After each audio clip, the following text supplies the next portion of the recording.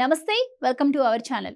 గత ఎన్నికలకు ముందు వైసీపీ అధినేత జగన్మోహన్ రెడ్డితో కాస్త రెబల్గా వ్యవహరించిన ఒంగోలు మాజీ ఎమ్మెల్యే బాలినేని శ్రీనివాసరెడ్డి తాజాగా మరోసారి అసమ్మతి వ్యక్తం చేస్తున్నారు. ఇప్పుడు మరో అంశంపై బాలినేని తన పోరాటాన్ని సాగిస్తున్నట్టుగా చెప్పుకుంటున్నారు. ఈవీఎంలపై తాను చేస్తున్న పోరాటాన్ని వైసీపీ అధిష్టానం పట్టించుకోవటం లేదని బాలినేని తీవ్ర అసంతృప్తి వ్యక్తం చేస్తున్నారు. ఏదైనా చెబుతామంటే పార్టీలో ఎవరు వినేవారే లేరని బాలినేని శ్రీనివాసరెడ్డి ఆవేదన వ్యక్తం చేస్తున్నారు. పైగా తనపై వ్యతిరేకమైన ప్రచారాన్ని పార్టీలోనే చేస్తున్నారని అన్నారు. తాను జనసేనలోకి వెళుతున్నానని ప్రచారం చేస్తున్నారని అంటున్నారు. అయితే బాలినేని జనసేనలోకి వెళుతున్నారన్న మాట నిజమే అని విపరీతమైన ప్రచారం జరుగుతోంది. పార్టీ మారే ఆలోచన ఉండటం వల్లనే ఆయన ఇలా విమర్శలు చేస్తున్నారని వైసీపీ అధినాయకత్వం బలంగా నమ్ముతుందని అంటున్నారు. ఇక తాజాగా బాలినేని చేసిన వ్యాఖ్యలపైన కూడా జగన్ సీరియస్గా ఉన్నట్టు తెలుస్తోంది. వైసీపీ ఓటమి పాలు కావడంతో పార్టీ మారాలని బాలినేని ప్రయత్నం చేస్తున్నారని అంటున్నారు. బాలినేని శ్రీనివాసరెడ్డిని టీడీపీలోకి చేసుకునే అవకాశం లేదని తెలుస్తోంది. అందుకు టీడీపీ ఎమ్మెల్యే